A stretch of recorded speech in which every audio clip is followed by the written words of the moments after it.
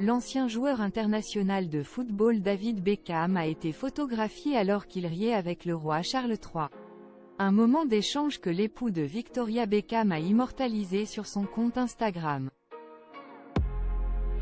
Alors qu'il suit un traitement en vue de soigner son cancer, le roi Charles III continue à assurer ses fonctions royales.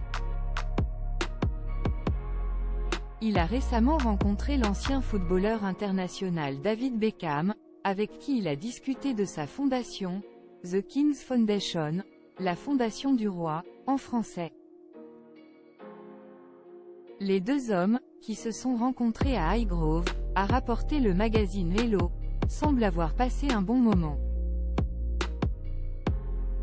Ils ont d'ailleurs échangé autour de leur passion commune, l'apiculture.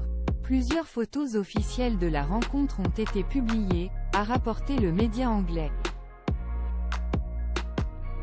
En effet, sur un cliché posté sur Instagram par l'époux de Victoria Beckham, on peut voir l'ancien joueur de football rire avec le souverain britannique. La photo a également été postée sur le site officiel de la Fondation du Roi. En légende de la publication, l'ancien capitaine de l'équipe de football d'Angleterre a posté le communiqué suivant. C'est un honneur pour moi de devenir ambassadeur de la Fondation du Roi. Sa Majesté m'a fait part de ses projets et de ses ambitions lors de ma récente visite à Highgrove Gardens. Il a ensuite développé les raisons pour lesquelles il a rencontré le roi Charles III. Ayant grandi à Londres, mais ayant développé un amour pour la campagne, je me réjouis de soutenir les programmes éducatifs et les efforts de la Fondation pour faire en sorte que les jeunes aient une meilleure compréhension de la nature et nous avons échangé des conseils sur l'apiculture. A-t-on pu lire sur son compte Instagram? Une fondation tournée vers l'éducation.